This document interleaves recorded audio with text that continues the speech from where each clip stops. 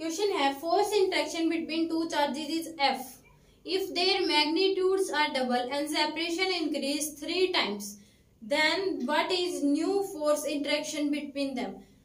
Two charges का force दे रखा है, हमें एफ़ दे रखा है। अगर उनका मैग्नीट्यूड डबल कर दिया जाए और सेपरेशन थ्री टाइम्स कर दिया जाए तो हमारे पास न्यू फोर्स क्या होगा?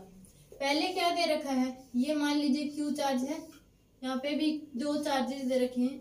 इनके बीच का डिफरेंस है आर तो फोर्स क्या होता है हमारे पास? के q one q two divide by में आर स्केल ये क्यू वन ये क्यू टू तो ये हमारे पास फोर्स हो गया। अब इसने क्या किया कि ये टू क्यू हो गया। मैग्नीट्यूड है वो डबल हो गया और सेपरेशन क्या हो गया? Three r three times increase हो गया। तो जो एफ़ डैश आएगा वो क्या आ जाएगा के into two q two q divide by में थ्री आर का स्केयर हो हो जाएगा मेरे पास। तो एफ़ डैश तो के इसको हम लिख सकते हैं q one q two into four q one q two into four लिख सकते हैं इसको। डिवाइड बाय में क्या जाएगा?